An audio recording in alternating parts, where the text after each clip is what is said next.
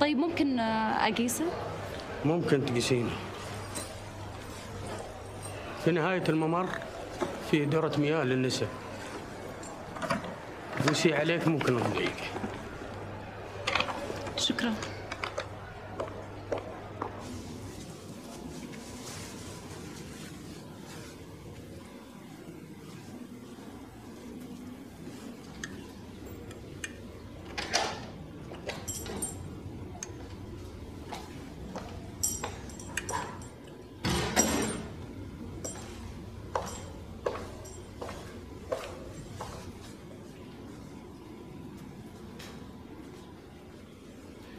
إيش رأيك في الفستان؟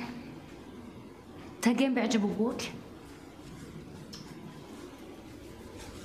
Peter, this was at Venice Film Festival, and the news was it was the first film from a Saudi Arabian female director, and that was the news story. Yeah. Um, and yet the film itself, I think, is, is actually really good. It transcends all of that. Yes, I think it's. Uh, I, I, I liked it very much. Uh, I think it has something of the neo-realists. Obviously, it's indebted a little bit to Bicycle Thieves.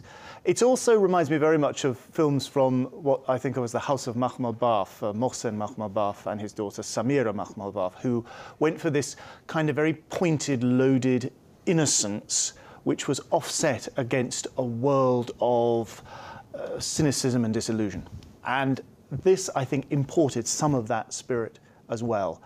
It also has a very, very Hollywoodish happy ending, which might make it a real commercial proposition in this country, as it happens. Some nice kind of low-key comedy as well around the, the absolute fear of, of the female in this film. There's the, the teacher, who, a brilliant performance from the, the, the actress who plays the teacher, who says that a woman's laughter is her nakedness. Yes. And then when uh, Wadjda falls over and barks her knee, and she says, I'm bleeding, the mum says, Is it your virginity? and, and there's a lot of kind of weird satirical fun in there. Yeah, but it's still gentle enough that it's not going to get the director in too much trouble. I think she's been quite canny and deft with that. Uh, She said in that interview that not every film from the Middle East about women has to be this hugely dramatic, terrible tragedy. Like, uh, things over there are incredibly difficult for women, but you can find comedy in the situation and you can tell a story that people are hopefully going to go and see and change things gently like that. I think Peter's absolutely right about it being very Hollywood. In fact, as soon as I finished watching it, I thought, you know, foreign film Oscar, potentially, at least a contender.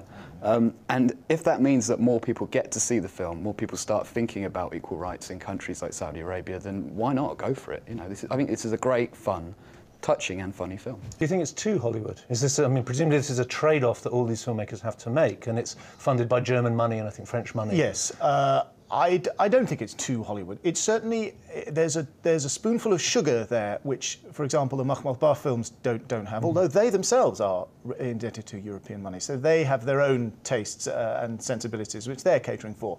No, I don't think it's excessive, but it's certainly quite it's certainly quite strong when you think this is not you know this isn't just a miserablest film by any means.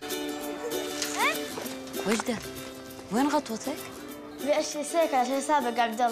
والله يعني ما تدري البنات ما يركبون السياكل اللي تدري زين عن وش اتكلم وتدري ما بيك تبيع سيكل لاي احد شريط منوعات بما إحنا صرنا اصحاب الان